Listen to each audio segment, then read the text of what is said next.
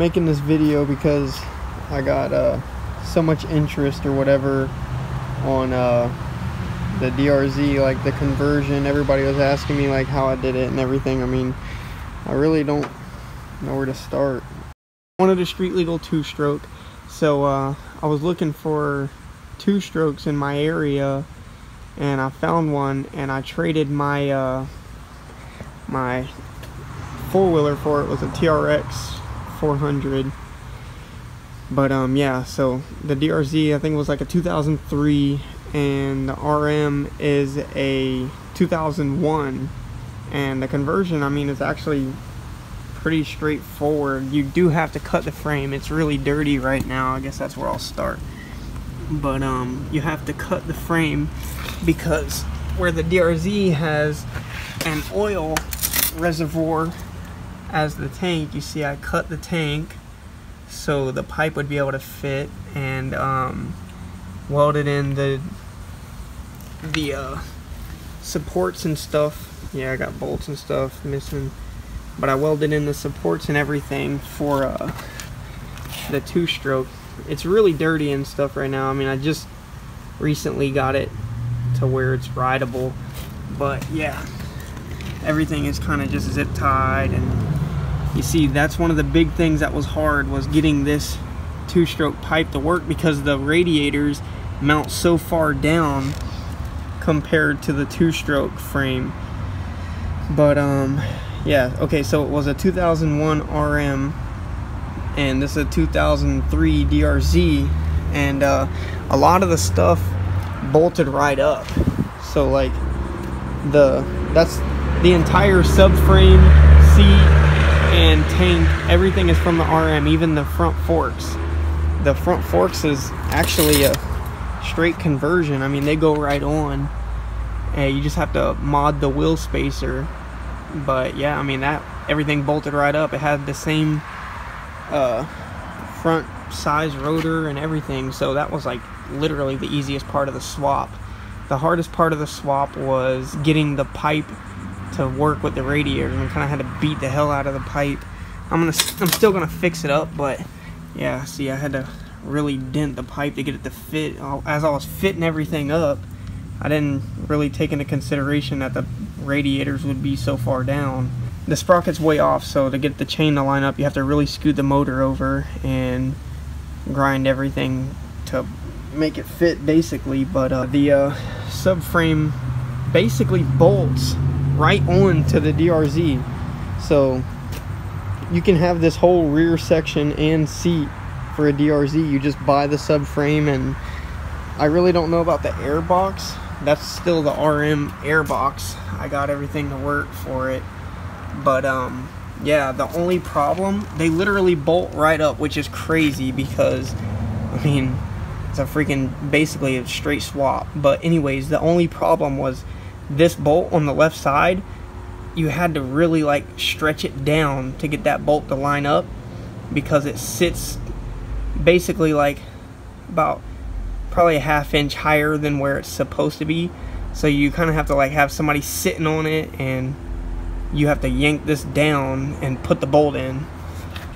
And uh, here's the uh, mounting for the rear subframe which actually like I said everything lined up good. The only thing here too it was too tight so you had to stretch it out to get it to fit on there. And another problem I don't think you would just be able to buy this whole air box set up and have it work with the uh, DRZ because even right now it's pressing on. I don't know if you can see in there. Let me see. There it is. So uh, in the it's pressing against the rear shock uh, rear shock gas thing or whatever like I said nothing's bolted down. But uh, yeah this thing comes back further on here than on the RM it kind of comes straight from here instead of back. So it's pressing right on the air boot. But uh yeah I don't know if it would be able to just bolt right on to the DRZ because the DRZ head is higher, so your carb is probably going to be up in here somewhere, so it wouldn't line up. So you could probably get something to work. I don't know, but yeah, that's that.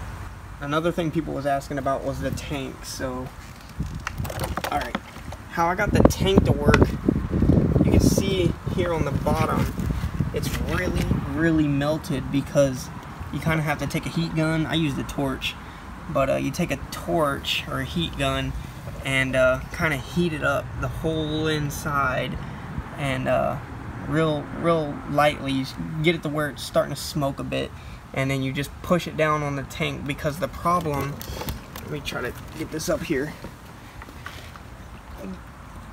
The problem was once you would try to set it on the DRZ frame this the back of it would just be setting up like maybe that high from the frame. So you have to melt it. You see I melted it probably it's probably sitting down like honestly like six inches lower than what it was on the RM so I mean it's really low compared to what it was on the RM but you had to melt it because for one these uh let me see.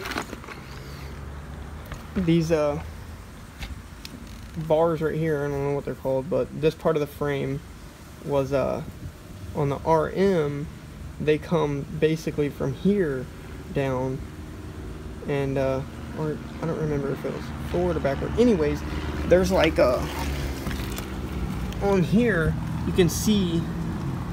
Let me see. I. I can't see. Let me pull this in the dark. I can't see anything. But uh, yeah. Okay. So you see these little tabs are really burnt. They stuck out kind of like nipples, I guess you want to call it, is the best thing I can think of. But yeah, they stuck out, so you have to melt everything to be able to fit inward and then melt the inside of the tank. Honestly, you probably pull that thing in like four inches compared to stock. And you just have to heat it up. It's kind of repetitive. You heat it up, push it on the tank, let it press down a little bit, and then let it cool down because it'll harden to that shape and you got to just keep redoing it until you get to, like the desired uh, shape that you want I guess.